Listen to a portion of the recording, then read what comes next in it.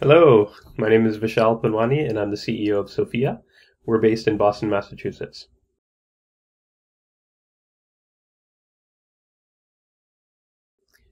November 9th, 1989, where was I? I was three years old, so I was very likely playing Nintendo, old school Nintendo.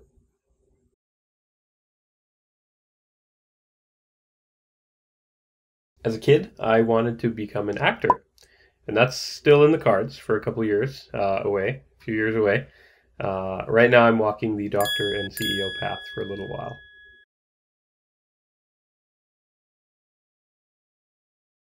We're breaking down lots of walls in digital education, from social collaborative learning to data driven learning. I don't think it's a surprise to anybody that schools are having a hard time connecting teachers with students, students with students, researchers with each other. All sorts of different connections are, are difficult now. So we built a natural way to connect again uh, to facilitate all of these sort of serendipitous, organic, face to face moments without any links and any downloads.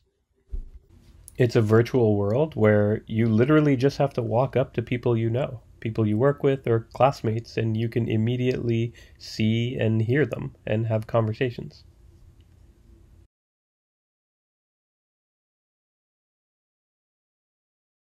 The concept behind what we're doing is really just connecting people, right? In places that we know for nostalgia because nobody's traveling nowadays, or in places that we don't know because we're exploring. But ultimately, it's about connecting people uh, who go to school together or who work together on a team in a startup or in a company uh, who do research together, maybe in a hospital or a school or an institution, or people who grew up together.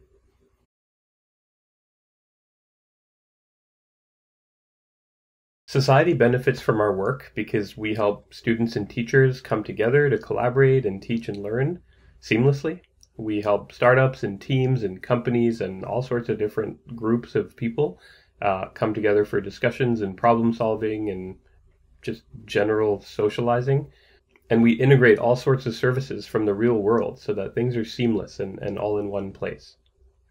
When Sophya's everywhere, everywhere on the planet, we'll be able to break down the walls of remote work. We'll be able to take us from where we are now in sort of COVID shutdown time into really what will be the future of remote work and the future of work places.